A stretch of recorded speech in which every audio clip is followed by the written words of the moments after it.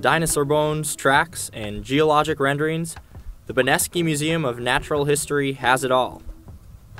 I spoke with Fred Venn, education curator at the museum. I first asked him about the size of the collection. We have 1,700 specimens on display in the museum. The holdings of the collection extend beyond 200,000. Um, many of them are in the cabinets and storage areas throughout the museum, and we bring those out for teaching purposes throughout the year, as well as research.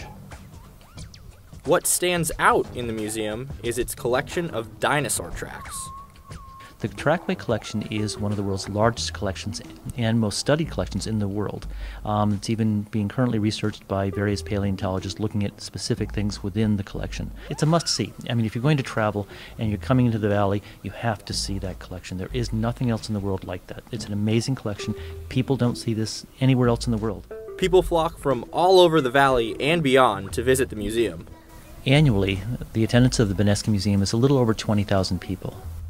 As for the most prized possession of the museum, it's the history of the museum that is probably its greatest prize. Each piece has a story, so it's not one individual piece, but it's the collection. It's the pieces that have kind of reflect on the history of Amherst College.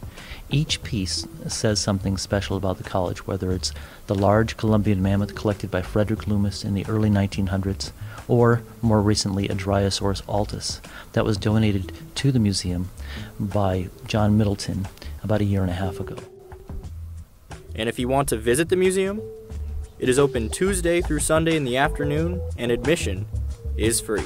I'm Jesse Pagliuca for AC News.